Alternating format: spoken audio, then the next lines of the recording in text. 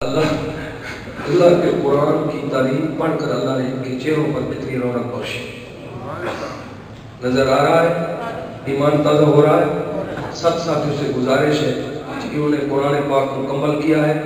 یہ قرآن قرآن اور حدیث کی تعلیم پڑھنے کی وجہ سے یہ نبیوں کے وارث بن چکے ہیں۔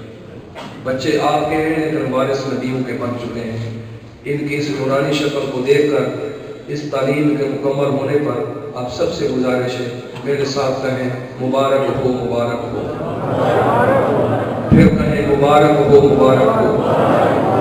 پھر تیسری بات فرمائے مبارک ہو مبارک ہو۔ اللہ پاک ان کو مبارک فرمائے، ان کے ماں باپ کے لیے، عزیز و قارب کے لیے سب کا جاریہ فرمائے۔ مولانا مفتی رفاقت علی صاحب جو آپ کے یہاں کے فرت اکرام صاحب جو آپ کے منتظم بھی ہیں اور مولانا کے معامر ہیں یہاں محنت کر رہے ہیں، تو کل ان کی والدہ کا انتقال ہوا۔ والد صاحب پہلے دنیا سے رخصت ہو گئے۔ آپ سب سے گزارش ہے کہ آگے پیچھے بھی دو میں یاد کریں۔ اب بھی میرے ساتھ کہہ دیں، اللہ ان کی والدہ کو غریب رحمت فرمائے۔ آمین۔ اللہ ان کی بخشش فرمائے۔ آمین۔ چونکہ یہ قبولیت کا وقت ہے بچوں کی دستار بندی ہو رہی ہے، یہ عید قبولیت کا وقت ہے۔ جو آپ نے اپنے دل کے اندر جائز حاجت رکھی ہوئی ہے، ان کی نیت کرنے والا سب کی جائز حاجت کو پورا فرمائے۔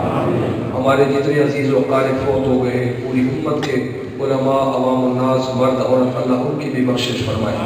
مفتی فرد کرام کی والدہ کی بخشش فرمائے۔ اللہ ان کے بھائیوں کو، ان کے گھر والوں کو صبر جمیل کی توفیق نصیب فرمائے۔ آمین کہو۔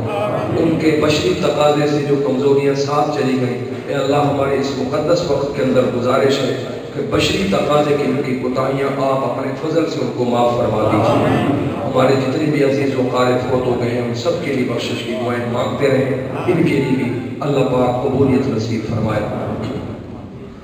ابھی پہلی اذان ہوگی اور